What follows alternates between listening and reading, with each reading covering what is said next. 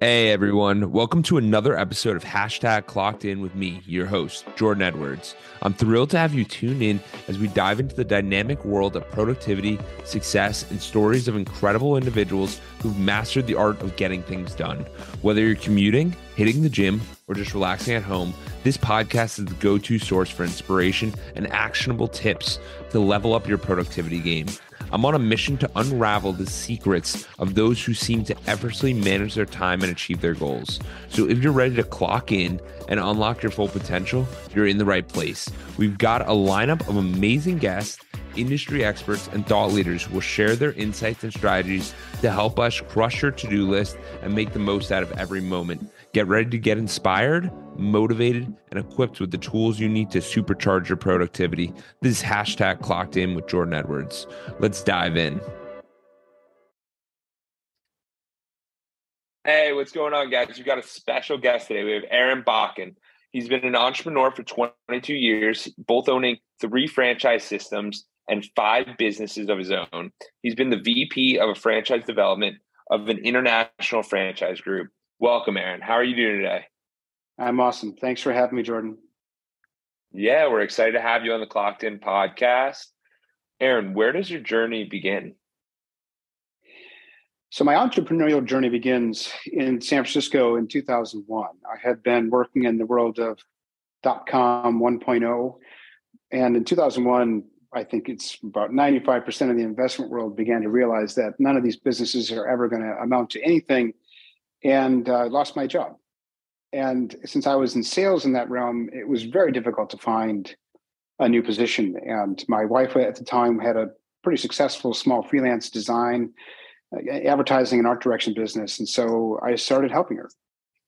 And before I knew it, we had uh, we were working seven days a week. We had a bunch of new clients and needed to create some balance in our life. So we leased an office, hired a bunch of employees, and we ended up um, for three years on the fastest growing companies list, the top 50 in the San Francisco Bay Area with this agency. It was it was awesome. It was particularly awesome because you, you're talking about Silicon Valley and, and the Bay Area. We were the smallest company by far on that list. So it was pretty cool to be rubbing elbows with some um, awesome entrepreneurs. And then we had a client that was a franchise and so we ended up getting involved yeah. in that franchise piece. But yeah, that's how I became an, an entrepreneur. That was very accidentally. First of all, I think that's absolutely incredible how you were able to turn something as bad as losing your job. And uh, I mean, maybe there's people who are losing their job right now who lost their job and looked around and figured out the assets that you had in that moment. Because would you have ever considered working with your wife at that that time? No. I mean, literally, it started because I asked her, when was the last time you invoiced a client? Because I was looking at, we had just purchased a house. We'd overpaid by about 30% of the asking price. That was the early days of the overbidding on homes in the Bay Area. And she said, I don't know, maybe three months ago. So that was the first thing I did. I started writing invoices to her clients. And, um, you know, since I've always been a salesperson, I started putting my sales hat on and started reaching out to some of the companies that I knew and was doing cold calling. And, and that's kind of how it happened. I just, I, I, would say fear more than anything else drove me to help uh, grow our business. Absolutely. I mean, because some people don't realize it that there's a lot of value in what they already have, and you just have to figure out where all the pieces fit, which is very intriguing. Yeah.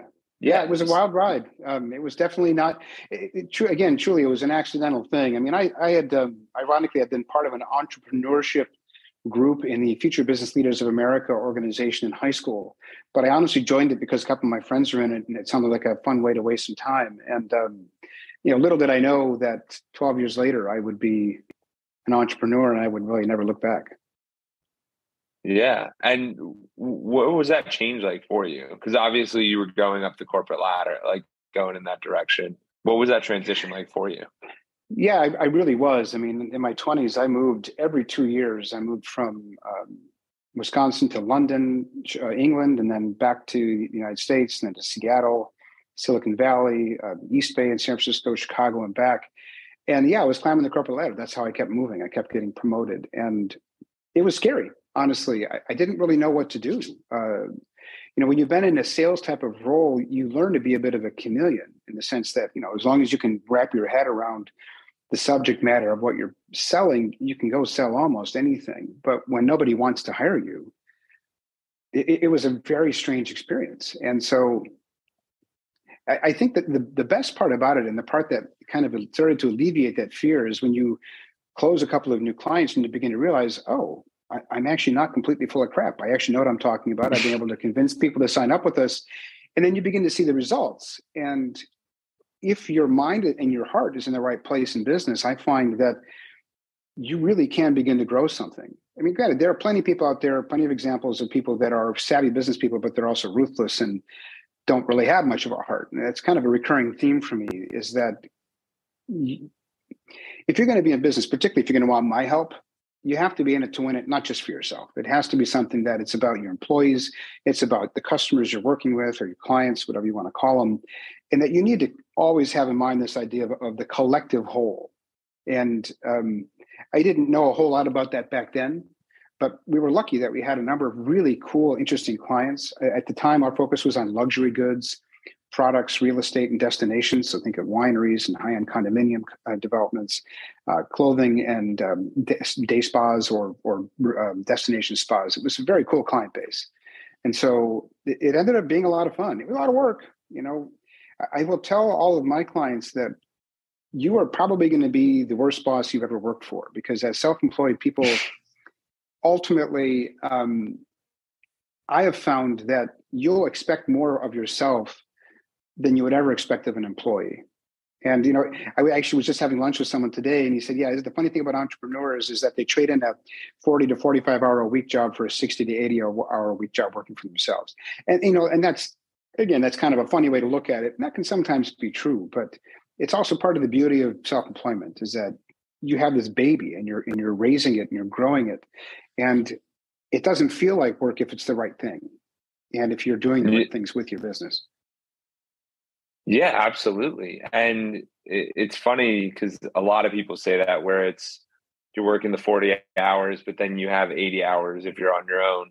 And it, I think it comes down to that that fear element of I gotta make this happen. I gotta create this. This has to come to life. Because throughout the, the all the episodes I've had, it always comes down to people being like, "It was this and there was no other option. Like I was going in on this, and this is what was happening. So, how was that? yes. Yeah. Yeah, it, and that's. I mean, that was certainly true um, of that first business and uh, the, some of the subsequent ones that I've created, where they ended up being born out of necessity. Um, either something I had started hadn't worked the way I had hoped, and so a new opportunity came along. So I sidelined that other that that business and started something new. Um, the biggest thing that I've learned in this 22 year trajectory of owning both franchises and and my own businesses when you're doing something on your own you're like you're on an island. You you honestly unless you've found a way to cultivate people who are doing something similar to you in your general network but they're they're non-competitive or they're so far away from you geographically that they're willing to share their best practices. But that's i mean the majority of entrepreneurs don't have that.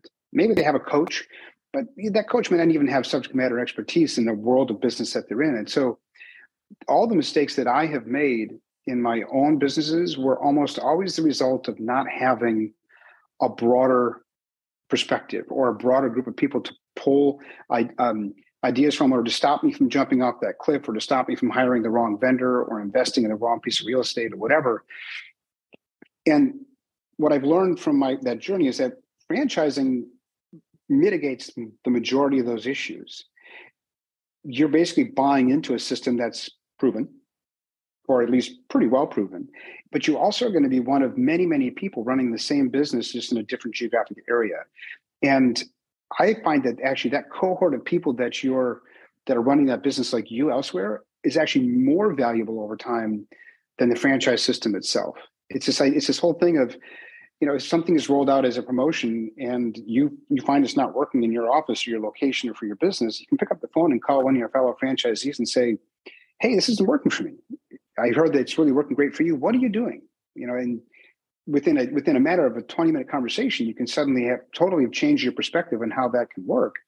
And um, you know, th- things really change. And so, you know, franchising isn't always the option and, and the answer for everything. But I think the biggest thing is that if you ever decide to get into business, the hard way of what, what I've learned is that find help, get a mentor, get a coach, or be part of a system where there's that built-in support so you're not on that island. Because man it is a lonely place especially when things are not going the way you planned on. Or the bank is calling up uh, saying hey you're going to pay your debt this month? So anyway I, not that i've ever been there I, i'm just saying. Yeah i completely agree. I think that, that's honestly one of the reasons i started uh, edwards consulting which is a it's a group where you meet and everyone is from different industry and they get different perspectives so i completely agree with what you're saying where if you have other viewpoints, there's such an advantage to that. So, yeah. who were some of the viewpoints, uh, some of the perspectives that helped you in your career? Well, I, will be honest. My my dad has been a huge uh, influence, and you know, he has he doesn't have any kind of entrepreneurial experience. He was he was a banker, but he is someone who has always been my champion. Um, he has oftentimes been my financier, my, my seed capital financier for a number of the things that I have invested in. Um, I've always paid him back, even when the business wasn't successful. I'm a firm believer that uh, you know you shouldn't leave the people that have helped you get into your, your endeavor um, out cold if the business doesn't go well. In fact, the, the uh, deals I've always had with my investors is look, if, even if the business fails, and even if it takes me 20 years, I will make sure that you at least get your money back, even if it means I don't. That some people would say that that's crazy. That's part of the risk you take with investing in somebody. But I don't know. I just I, I work a little bit differently, think a little bit differently. Thankfully, I haven't ever been in a position where I've had to really make good on that promise. And I, I just exited out of my franchise business last week. I owned a trampoline park, and while it was a long road and my investors didn't get the money they were planning on during the journey, they definitely have at the, at the exit. And so, you know, it's just it's not always a pretty road to get to that place, but um, you know, with the right guidance and, and the right help, you'll get there. So my my dad was one, but two, you know, I have used coaches over the years, uh, not consistently. I, I've used them mostly when I felt like I really needed more outside guidance and help, or I felt like maybe I was stuck. And um, you know, getting back to the when I've been involved in a franchise, it's reaching out to my fellow franchisees and and asking that question of like, what am I missing? Why is this not working for me?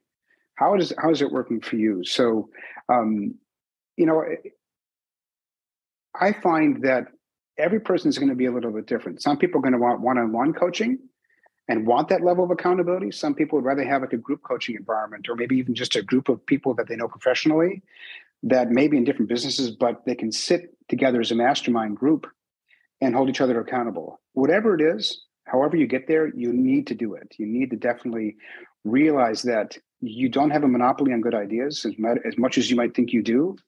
And outside perspectives are always going to keep you both humble, grounded, but also, I think, you know, and importantly, second guess some of the bigger decisions you're about to make. Because, man, you know, if you decide to plunk down 50 grand or 100 grand on new equipment or in a major marketing campaign for your business, and if it isn't well thought out or if it isn't a strategic direction your business should be going in, it can be a disaster. And so oh. having people there to, to help you second guess and or at least bounce the ideas off of to me has been an effective and essential part of my success. Yeah, yeah, I completely agree. And I appreciate you sharing that just because there's so many times when we think, oh, we did it on our own. That's never true. We always did it with other people. And the cool thing that you're bringing up right now, Aaron, is that you're utilizing your model with the franchise is the same idea when people are working in the same company. It's the same idea when people make friendships. They use them as a resource. And I view correct. What I viewed most of the time is that we don't utilize our resources unless we want something from them unless we need something from them.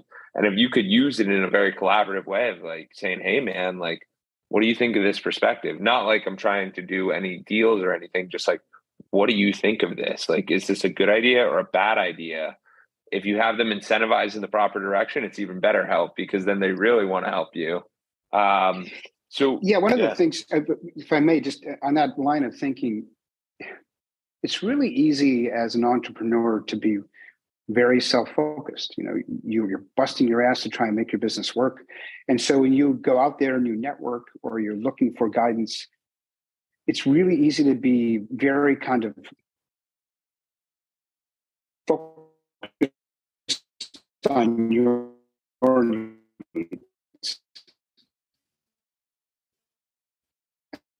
Not thinking about why am I, why other people from outside of my organization, international networking organization, they have this idea of giver's gain, I think it is. I, I may be crediting it to the wrong organization. And what I what I've learned is that when you're out there doing these types of things, yes, it's okay to ask for help. Yes, it's okay to ask for a referral. But at the same point in time, the best way to navigate that whole world is to sell through people, not to them, and to recognize that sometimes giving to people the things you can learn by helping someone solve their problem suddenly create aha moments for yourself. I, it's been weird sometimes how I've gone into a meeting thinking, I really need to meet a particular person or a particular type of client. And that's what I'm going to focus on today. And you end up in some side conversation with someone's explaining a problem they're having in their business. And I'm like, oh, I've been through that. And this is what I did. And all of a sudden it reminded me of, well, that's actually the same solution to the problem I'm experiencing in my business. How the hell didn't I think of that sooner? Kind of thing. So being more open-minded and being more prepared to share. Um, you could even you know use that principle of pay it forward kind of idea that maybe you're helping that individual they may not be able to help you directly but by you helping them they're going to try and help somebody and you, you're just creating a better ecosystem of mutual support. Just to me philosophically speaking i think it's an important thing to remember if you're going to go into business for yourself because it's really easy as an entrepreneur to be very self-focused because you're freaked and you want to make sure your business is going to work. And most of the conversations you want to have are about making it work versus thinking more broadly. Just again, I wanted to bring that up. Yeah, and I I think that's a very good point because also when you give, like when you're providing value to other people, that builds good good rapport with them. So when you do come up and you go, "Hey, man, I'm starting this business, or I'm doing this business, or I'm doing this," is something you might be interested in. They're much more open to that conversation because it's not like, "Hey, everything with Aaron's a transaction." it's it's a very different feeling. It, it's more like, hey, we're on this path together. Aaron can help me. Jordan can help me. Whatever it is might work. So, yeah. Aaron, for you, what was you, you mentioned how the freelancing business was taking off, and then one of your clients was a franchisee. Yeah. How did that work? Yeah. So we were at a, a a photo shoot they had we had redesigned all the packaging for their their product labels it was an all natural bath and body products retail franchise. It was very new as a franchise. Um, wonderful product line. This is back when the idea of all natural bath and body products and facial products was still kind of a new thing. And the, the ladies the, that owned the business were wonderfully creative. Um, they were frankly awful franchisee franchisors in terms of how they approached the business and this idea that hey, we're paying you a royalty to actually get support. Um, back then was kind of the beginning of e-commerce, and almost all the money we spent felt like went into feeding their e-commerce business, which benefited them. But it, regardless, it was a wonderful learning experience. It was an awesome business, and we got into it because during that photo shoot, we said to them, "Why don't you have a day spa uh, incorporated into your bath and body products and spa products retail business?" And at the end of the weekend, yeah. they said to us, "You know, it's a great idea. Why don't you guys do it?" And so they gave us a, you know, made it very fiscally advantageous for us to start the business up and um, we had no idea really what we were doing aside from just having ideas and with some of their initial support and help we ended up creating what ended up being their highest volume business in their small little franchise group and the best thing i learned from that experience aside from your franchisor that you're working with if you get into franchising has to be in it to win it with you not through you or from you. It needs to be a mutually you know beneficial relationship. But was getting involved in something that makes you feel good about it yourself makes you feel good about why you're in business in the first place. You know if if, if for someone you've you've always wanted to do something that benefits kids and and because maybe you had a tough childhood or you didn't have a lot of money growing up or uh, whatever your situation may be if if getting into a business that can help people that are in circumstances like you is really going to feed your heart and your soul, then you should listen to that. You should do that. For me, it was just literally seeing the look of relaxation on the face of that person that came in stressed out, middle of the day. This is their lunch hour. They have an hour to get a massage, and they come out a completely different person. It was really an awesome thing, and it made me realize that being a business doesn't have to just be about making money you can actually pair this idea of feeling like you're making a difference. And again that, that could be as simple as helping somebody fix their plumbing problem if you're into plumbing. It doesn't matter what it is medium. It's just i find that you're going to be far more committed and far more excited to show up in your business day in and day out if it at least is somehow paired with some sense of passion or benefit or or whatever that feeds you in something yeah yeah i think it's very important to find that purpose whatever that may be. Um, sometimes it's for some of the people doing e-commerce it's the brand. When the brand when they sell a lot of items the brand's super happy and that that's a cool moment. Or maybe it's um, you get on a podcast and people are excited there. It can be anything. And like the whole thing is that if you view your business through that lens of who am i helping how am i helping them you're going to be a lot more comfortable and happy with the experience that you provide and you're going to want more people to come in. well, that too, and I think it's it's one of the foundational principles of how you create good culture in a business. Um, you know, I've heard for three decades now in my professional career, people talk about culture, culture, culture, and very few companies I find successfully create it. They talk about it, but it's not well mirrored by the management people responsible for overseeing the teams that are in there in the trenches getting things done. And that becomes more and more complicated the bigger a company gets. But there, it, it is absolutely possible. I've seen them. We've got a number of franchises in my brokerage uh, portfolio that are in business systems that you would think would be so damn boring. How could there possibly be culture there? But one of the best culture franchises in our in our brokerage group is a business called the Brothers that Just Do Gutters they, they do gutters basically, but they have sold a ton in the last year, year and a half since their launch. I mean, they have an amazing sales organization that's helping them.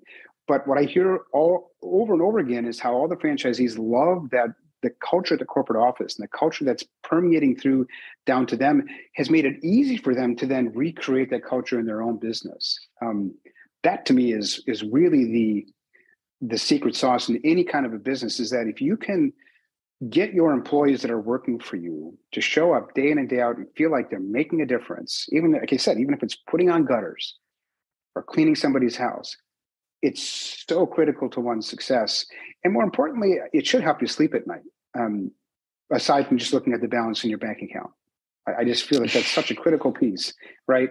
And so um, you know again assuming somebody has a moral compass which not every piece not every person in business does but um, it's just a, it's a recurring theme for me with all the people that I help. It's look, if you could be very successful with these three franchise territories that you purchased, I want you to remember that you're not going to get there alone. And I'm not talking about me, I'm talking about the people you're going to hire to help you get stuff done. If you get to a point that someone wants to buy your your franchise business, take care of your people too. You didn't do you didn't do it alone. I mean, I, I just went through this. I, I think I mentioned earlier, I sold my trampoline mm-hmm. park franchise last week and I lived four hours away from that business for the last almost seven years. And I went through a, a couple of different, uh, three different managers in the beginning of my first year. It was painful because I was up there all the time and I had young kids. And I finally found a woman who we were very like-minded and um, i gave her the space to make the right decisions i had to i was just so fatigued with the travel back and forth and fretting uh, all the time and she ran with it and I, I provided her with guidance, but I gave her the space to really treat the business like her own. And she built a team that when we closed in the transaction, everybody was crying. We were so like sad. We were going to miss everybody, but at the same point in time, really happy. And I paid them all. They all got they got money from me that was above and beyond what their salaries had been for helping me get to this point. And I'm not saying that because I deserve some sort of award. I'm just saying you need to keep that perspective in mind. I mean, my mid-level management team had no expectation, and they were, frankly, according to my now former general manager of the business, flabbergasted that I even given them anything. I guess it's just it's culturally in this country, it seems we've gotten really greedy, and particularly the people at the top. And I, I really encourage my clients to remember you're not getting there by yourself. Take care of your people. Yeah, yeah, absolutely. I actually got kind of chills when you were telling that story. Um, so I applaud you, and I think that's an awesome headspace and perspective to have. So let's simplify it. What what's a franchise if someone has no idea? Like, what's the difference between a franchise and then someone who's starting a business? I know you've kind of vaguely explained it, but like, what is sure. it definitively? So, franchise is effectively a business system in a box. You've got someone or some people that have created a business, they've made it successful, they're making money, they've got strong marketing and branding, they've got an operational system, they probably have a strong technology system in place to manage all the data that's flowing to their business. And they've recognized, okay, I've got two different avenues I could I could follow to try and grow my business. I could continue to open up more offices or more locations or more retail stores or put more vans in the street and hire managers that I hope show up day in and day out to run those remote offices and put my name against those leases as a personal guarantee and get more loans or whatever. Or I could if if my business makes sense as a franchise, I could turn it into a franchise opportunity. And that is in this idea that you've got it all figured out and you someone comes in and says i want to pay you to basically cut to the chase. I want to start a business like yours and i want you to help me get there. So it's it's it's the entrepreneurial thing i, want to own a business but it's realizing i don't maybe have a strong idea. Or maybe i maybe i want to get into a fitness business but i don't have any idea how to do it but i love fitness. It's it's basically a platform and a support structure for you to basically get there. If you wanted to start your own company, you got to come up with what is my brand and my logo? How am I going to market my business? What vendors am I going to use? All that kind of stuff. You have to do it from scratch. And what I've learned is that you'll spend the same amount of money over time starting your own business as you will paying a franchisor to basically sell you their system. The difference is that you get all the you get all the information, all the help up front from the franchise system, and you're frankly, in most cases, far less likely to fail. Not it's not a guarantee, but far less likely. Uh, definitely. And what are some of the businesses that are franchises, and what are the different fields that are they're in? Is this everything, or is it anything, or what? Yeah, I'm glad you asked that question because most people, when they think of franchises, they basically think of restaurants like a Chick Fil A or McDonald's or Burger King, or okay. a gym like an LA Fitness or Planet Fitness or Orange Theory. Um, and maybe they've seen like a like a Paul Davis restoration or a SERVPRO restoration business, and, and that's about where where it ends. It is an incredible number of business segments. I mean, I have business to business services. I've got a, a, a company that is about cost reduction for large larger companies that are you know with contracts for telecommunications and their internet and um, their waste removal are they're completely being overcharged and they'll come in and basically help them figure that kind of stuff out. I have uh, definitely fitness, boutique fitness related businesses, but I have fitness businesses that are geared towards just people over the age of 50. Um, all kinds of things in the home services sector. I mean, there are lots of plumbing and HVAC and electrical franchise systems, not which a lot of people think of that's always a locally owned business. Why does it have to be? It can be. There are franchise systems out there. Appliance repair.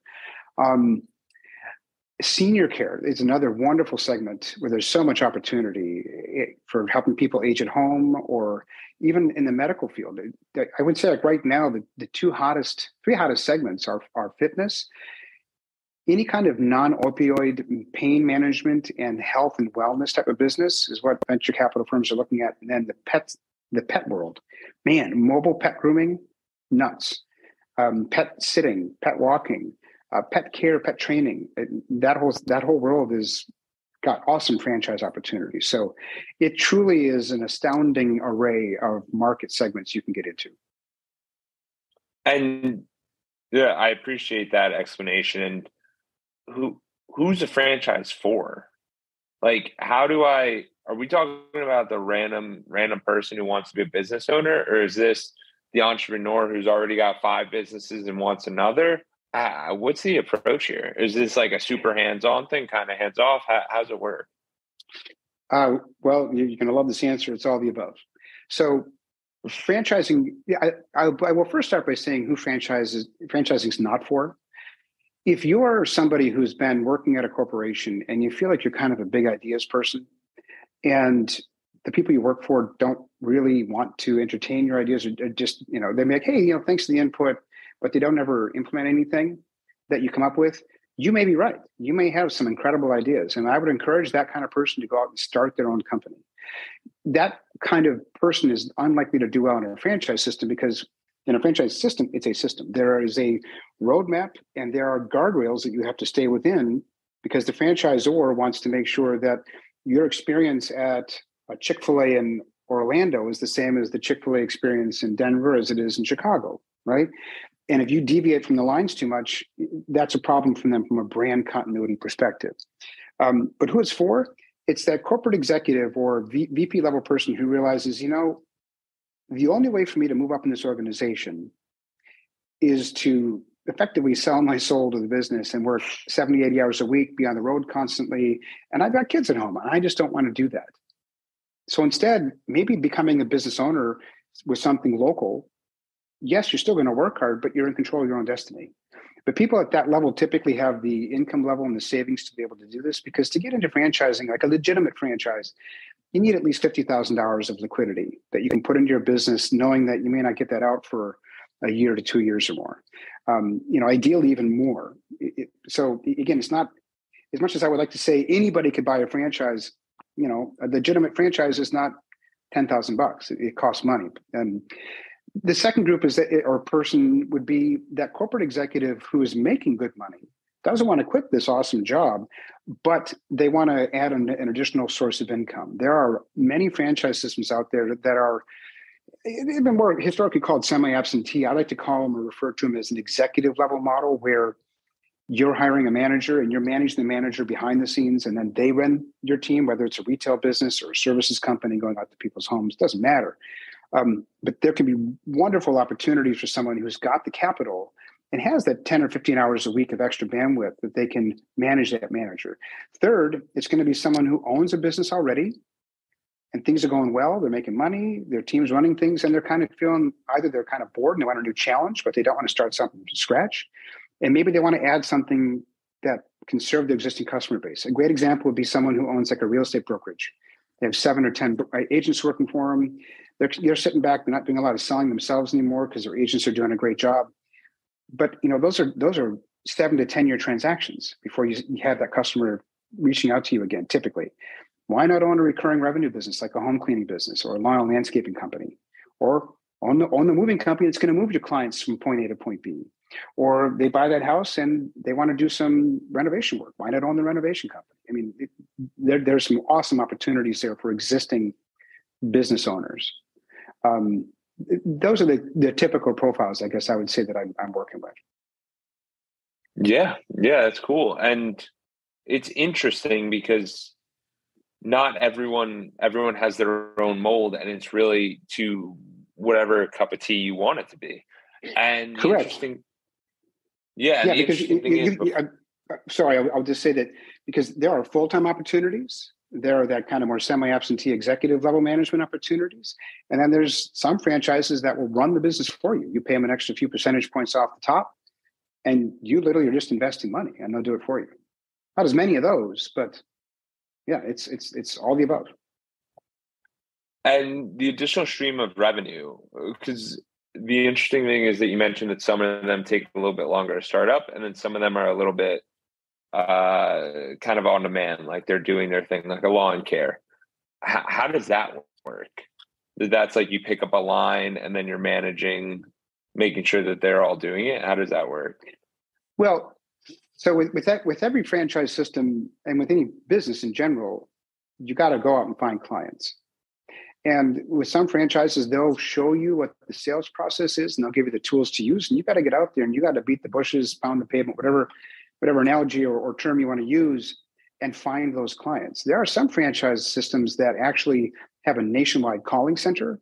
They manage all your social media and digital marketing, and they're even setting appointments for you. I actually like those kind of businesses because, frankly, unless I'm working with a client that has been a professional salesperson, it's oftentimes one of the weaker skills that a, a, a new entrepreneur will bring to the table. Um, so, so that part, part of that can be brought to the table by the franchisor, but you know their responsibility is to provide you with a solid roadmap on how to find those clients and build those relationships. And so, to get started, and and you know how you, I guess, you choose that is really going to be a function of are you quitting your job or are you keeping your job? Are you willing to sell or are you not so willing to sell? Um, and even if you are willing to sell, if you don't want to, okay, no problem. You know, and then I have to use all that criteria, all those criteria, and filter that through the hundreds of brands that I represent to figure out which ones then make the most sense. And, and effectively, I pitch my clients on these different brands, and I remind them, you know, these are the things you told me you wanted, or these are the criteria that you gave me, or this is the kind of lifestyle you want as a business owner, and that's how or why this particular opportunity represents that kind of pathway. Does that answer your question? Uh, yeah, yeah, I think that makes a lot of sense. And for you, you mentioned that you recently sold a business. What was that experience like? Because was that a franchise as well?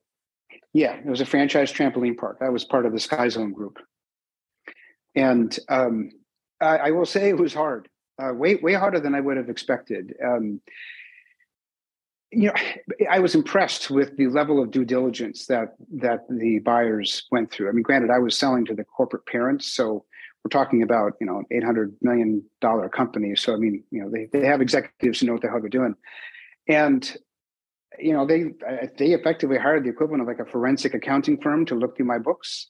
I mean, I was being asked questions about expenses from two and three years ago, and like I I tried to forget 2020, the pandemic you know. Um, and you're was, you're one of their you're one of their franchisees at this point prior to the correct. sale. Yeah, they happen to have a strategy where about a third of their total corporate or a third of their total worldwide locations are owned by the corporate organization. That's not that's not typical. Um, you know, with any kind of buyer, if you've got a sophisticated buyer, I mean, they're going to come in and they're going to they're going to turn your business inside and out if they're smart, and they got to make sure you're not hiding income or you're hiding expenses uh, you know, what's really common in business is a lot of business owners will put a lot of personal expenses through their company. I mean, you can kind of get away with it within reason, um, but you have to pull that stuff out because that that deflates the value of your business over time. And so I, I've always tried to keep things pretty clean. Also, because I've had investors, and so it's not fair to them if I'm paying for my wife's car, you know, or paying for vacation that I, am technically calling a business retreat, which again a lot of people do. Uh, you know, thankfully, I never did that with this business, and so the due diligence work I went through, I didn't have to explain any of that kind of stuff away. But it was um, it was really an eye-opening experience, and you know, I I had to hire a legal a legal support. I had a lawyer I was working with, who thankfully knew a lot more about this than I did. I had hired six months prior a fractional CFO to help me really clean up my books and help provide me with some projections for the future in the event that I didn't sell. And um, it, it, God, did it make all the difference in the world to be having professional help? You know, I, I brought it up before. You can't do this alone. Um, you got to tap into the right professionals in this kind of circumstance. You can't, and you also have to realize just because you build something doesn't mean it's worth what you think it is. It, most entrepreneurs yeah. have an absolutely inflated value on on their business, and um, you know, I'm I'm lucky. I had a great team, so I actually built a solidly profitable business, and I got paid a, a multiple that was appropriate, and um, I was happy with that number. But uh, you know, there's a lot of people that go into these types of circumstances and transactions with completely unrealistic expectations, and they kill the deal because they're not willing to be realistic. Yeah, and I think that comes from two points. I think that comes from one where they can't get a real number in their head is because they're much too close to the business because they are the business. So it's it's a lot of effort that they're putting in the sweat equity and they're like i definitely deserve more too when you bring out that outside help what call, did you know that you were going to sell? And you're like i think this is the time. Because the always the interesting strategy is when do you bring in the help? When do you do it on your own? And when do you you know what i mean? Because obviously in the beginning of a business you're like i thought this was going to be easy. I thought i was just i sign up for the franchise i get my books i'm ready to go. Well, I, I, again, I've been I've been fortunate that over the years I've I've been part of some different kind of mastermind groups and other and entrepreneurs way more successful than me. And any good advisor or coach is going to tell you that you need to be planning for your exit five years in advance. Okay, I wasn't that far advanced with my own planning, but um, you know, hiring someone like a fractional CFO if you don't have one for your business or it's too small to have a CFO. Um, occasionally talking to a tax strategist, and which I I do all the time. I had to because in the, in the first years of that business, it was a very asset heavy business. So I had lots of great depreciation, but that's starting to wane towards these now sixth and seventh year. And I had to get real about what else could I be doing with my business structure. Um, and then the legal support. You know, as much as I don't like how much lawyers make in the in the world of business, uh, I will say in this particular case, you know, I don't even know what my bill is going to be yet. Um, but doesn't matter. I couldn't have done it without him. I wouldn't have gotten there without him. And so, you really need to have your goals in mind at a minimum three years in advance. In my in my personal perspective, you set that goal. I don't care how you know. You've ever heard of the term BHAG, the big hairy audacious goal, or something like that? It doesn't matter how big the goal is. If you don't set it, you're never going to get there. And if that includes selling my business for four times what I, you know, what I think it's worth today, great. Then set the pieces in place and bring the people on, even if they're fractional people, to help you get there. And um, that's, you know, in, in a shorter time horizon is what I ultimately did. And sure, it cost me money. At the end of the day, I, I mean, yeah. a little bit less than the sale.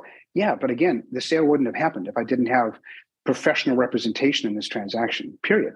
They would not have dealt with me personally. In fact, I learned along the way that they had a couple of other owners they were talking to, but the owners were so unrealistic about what their businesses are worth and weren't working with a lawyer that they said, see ya. I'm not going to work, you know, yeah. forget it.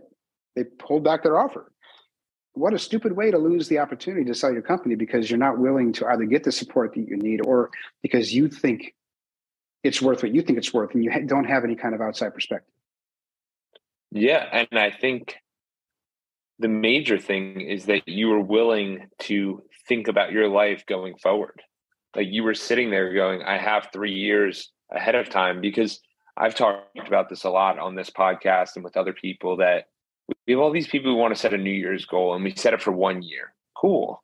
That's fine but if we look at the parameters of five years or 10 years or 20 years or infinity, and you start looking at those longer parameters, you'll see life in a different direction. And your decisions are going to be very, very different, drastically different than if you're thinking in minutes, hours, days. Because if you need uh, like money in this moment right now, you're a different person than, hey, I'm good. I don't need this right now. And that's why you can't have that financial stress and you want to remove that as early as possible. Yeah and one of the things too that um, i definitely have seen is that you know look you can set goals that are completely unrealistic. So you have there has to be some reality built into what you think you can do with your business. But i, I have a local business coach that i know here in the madison wisconsin market. His name is kyle arneson. He's he's older than i am. He's been around the block many times uh, more than i have. And he's um, he said to me recently with some of his clients when when they've done like two million dollars this year, and he says, "So what's your goal next year?" Well, I want to get to three million. He's like, "Why? Why don't you want to go for more? Set your goal for five million, and next year you're going to hit ten million, and I'm going to show you how to do it." And he he you know, over and over again he says, "It's not about." It, it, yes, it's about having the right people in place and having good marketing and having strong structures. But more than anything, it's having the mindset if your mind is focused on something that's much further in the distance, you're far more likely to continue to push in that direction and not accept just mediocre you know improvements. You're going to focus on getting there. And as long as you don't do it in a way that's like a slave driver to your team right you can get there. And he said with most of my clients they always overachieve when i change their mindset on their business. It's kind of the same way I, I, learned this i learned this when i was learning how to drive as a as a 16 year old my dad taught me, you know, like when you're turning, I don't know if you do this, but when you're turning on like a long corner on a road, don't look right in front of you. Look at the farthest point in the turn, and the car and the way you steer will automatically keep turning the right way with the curve in the road. And the same analogy applies, I think, in business is that you need to be looking at what's happening today. You know, you don't want to run into something that's right in front of your car, but at the same point in time, you always need to be also looking in the distance. You have to be able to do both. Yeah, and I think I think it works even for your life and your body, and well, your sure, friendships, absolutely. and a, a lot a lot of different parameters. Because the thing is, if you set that goal for, let's go with that example you said, where it's two million, they're making two million, bump it up to five million, you're asking different questions. Bump it up to ten million, you're asking much different questions. It's like, how do we take over the system? How do we take over this? How do we help this? How do we do this? And you're looking at the world in a slightly different way. And when you can control yeah. the constraints, where you go, hey, we have five minutes to provide the most value possible. How are we going to do that? Your brain's thinking about it differently. So for the audience listening, these are good questions to ask yourself, not 10 million, 5 million, any of that, but just asking yourself the tougher questions like, what would it take to double my income? What would it take for me to lose 25 pounds? What would it take for this to occur? Your brain can come up with those solutions, and that would be super, super valuable. Um, Aaron, I know our time is winding down. Do you want to? Do you have something to say? Yeah. Well, you you you hit on something of, of just a short moment ago that kind of related to like losing weight, taking care of yourself. Um, we talked about this before the podcast recording.